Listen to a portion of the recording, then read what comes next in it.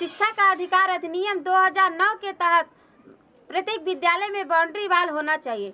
परंतु बड़े अफसोस की बात है जिला मिर्जापुर के सिटी ब्लॉक के चपौर खुर्द प्राथमिक विद्यालय पे पिछले सात वर्ष से बाउंड्री वाल टूट जाने के कारण निशा सहित एक सौ अट्ठावन बच्चों को काफ़ी समस्याओं का सामना करना पड़ रहा है।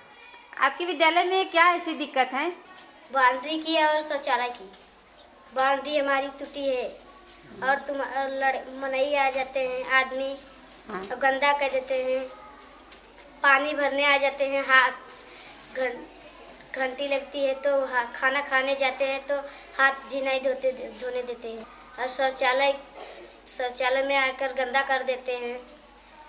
और वहाँ पर टट्टी कर देते हैं तो हम लोग बाहर जाते हैं टट्टी करने के लिए। मैं चाहती हूँ कि बाउंड्री सही हो जाता है तो मुझे खेलने में दिक्कत नहीं होता। मेरे यहाँ सबसे बड़ी समस्या बाउंड्री की है। बाउंड्री न रहने के कारण गाँव के लोग आ जाते हैं, हमेशा आते जाते रहते हैं और यहीं पानी भरते हैं।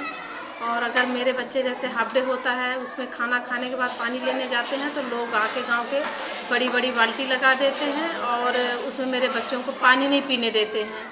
और यहाँ शौचालय की समस्या है और जो थोड़ा बहुत काम चलाऊँ है भी तो उसमें अपना आकर गाँव के लोग गंदगी कर देते हैं लैट्रिन करके उसी में ईंटा डाल देते हैं।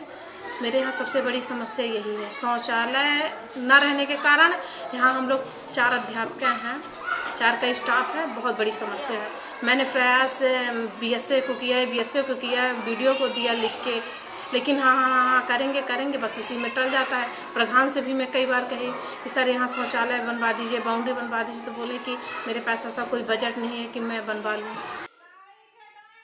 मैं चाहती हूँ कि इस विद्यालय में बाउंड्री बाल बने, ताकि इन बच्चों की समस्या दूर हो सके। मैं वीडियो देखने वाले सभी दर्शकों से अपील करती हूँ कि जिला मिर्जापुर के बीएसए के मोबाइल नंबर है चौरानवे, तिरपन, डबल ज़ीरो, इकतालीस, पंचानवे पर कॉल करके दबाव बनाए। मैं अनीता भारती, जिला मिर्जापुर, उत्तर प्रदेश, इंडिया, नर्स। से